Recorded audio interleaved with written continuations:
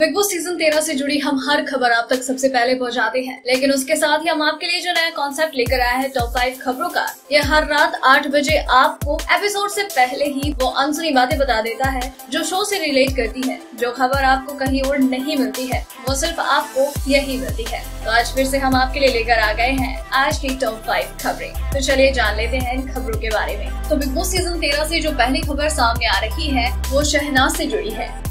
शहनाज ने Bigg Boss के orders को फॉलो नहीं किया, घर के रूल्स को ब्रेक किया। इसकी वजह से उन्हें पनिशमेंट मिली है और पनिशमेंट के तौर पर उन्हें अगले हफ़्ते के लिए नॉमिनेट कर दिया गया है। इस हफ़्ते वो ऑलरेडी नॉमिनेटेड हैं और अगले हफ़्ते के लिए भी ऑर्डर्स को फॉलो न करने की वजह से उन्हें नॉमिनेट कर दिया है। नंबर टू घर में चल रहा ट्रांसपोर्ट वाला जो टास्क है, उसमें विनर टीम के बारे में हम आपको बताने जा रहे हैं। तो टास्क में विनर बनी है आसिम की टीम यानी कि आसिम, सिद्धार्थ शुक्ला हिंदुस्तानी भाव आरती, शेफाली और हिमांशी खुराना।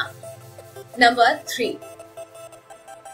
सिद्धार्थ शुक्ला और माहिरा शर्मा के बीच में जो भी हुआ, सिद्धार्थ शुक्ला की वजह से माहिरा को चोट लगी या फिर सिद्धार्थ शुक्ला टास्क में अग्रेसिव हो गए, उसे लेकर बिग बॉस ने उन्हें सजा दी है और सजा के तौर पर उन्हें अगले दो हफ्तों के लिए नॉमिनेट कर दिया गया है। नंबर फोर देवोलीना और रश्मि देसाई बिग बॉस के घर से बाहर हो चुकी हैं, लेकिन वो अभी तक मीडिया के सामने नहीं आई है। जिसके बाद ये अंदाज़ा लगाया जा रहा है कहीं ना कहीं किसी हद तक ये बात सच भी है कि वो दोनों सीक्रेट रूम में हैं। लेकिन अब काफ़ी दिन हो गए हैं उन दोनों का सीक्रेट रूम से रिलेटेड कोई भी क्लिप सामने नहीं आया है। और इसे देखकर ऐसा लग रहा है की इस बार सीक्रेट रूम टाइप का कोई कॉन्सेप्ट रखा ही नहीं गया है। हो सकता है कि वो दोनों अपने घर पे सीधे चली गई हो और जब उन दोनों को बुलाना होगा तो उनको उनके घर से बुलाया जाएगा, ना कि किसी सीक्रेट रूम से। नंबर फाइव अब ये जो खबर सामने आई है, वो हिमांशी खुराना को लेकर शहनाज के भाई शहबाज का रिएक्शन है। शहबाज का कहना है कि हिमांशी खुराना फेक है। इसके साथ ही उन्होंने अपनी बहन शहनाज को सपोर्ट भी किया है। वो कह रहे हैं कि कोई कुछ भी कहे, लेकिन लोगों को पता है सच्चाई।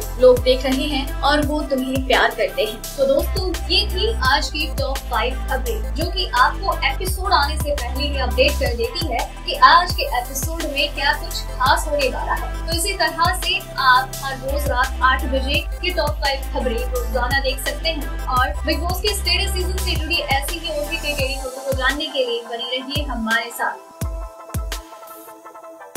डेली ट्रेंडिंग न्यूज़ के रिपोर्ट सब्सक्राइब करें हमारा चैनल ऐसी ही लेटेस्ट और इंटरेस्टिंग न्यूज़ के लिए।